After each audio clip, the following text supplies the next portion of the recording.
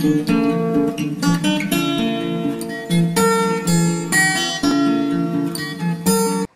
everybody, welcome back to my YouTube channel and welcome to my kitchen cleaning and organization part 1.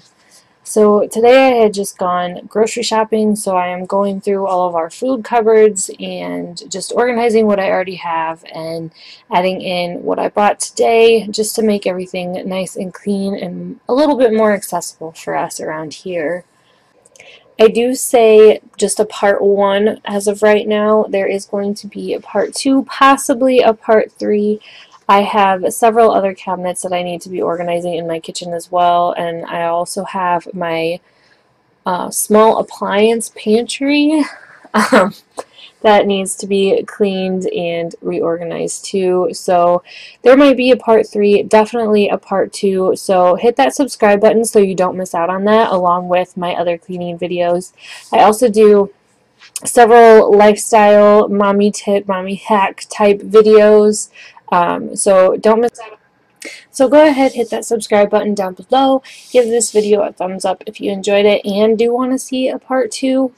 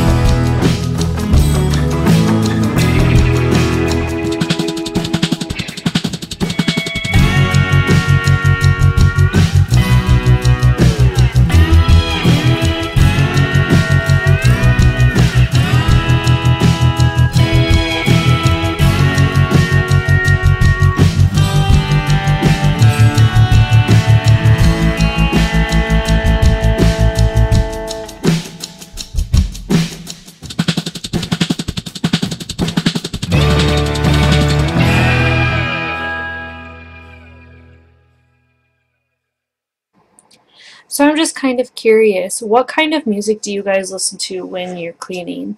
I'm kind of all over the board. It kind of depends on what mood I'm in. Um, I am a die-hard country girl, but I also love um, like alternative rock, uh, musicals, um, instrumentals. I love all types of music, so my videos are just kind of a mix of everything.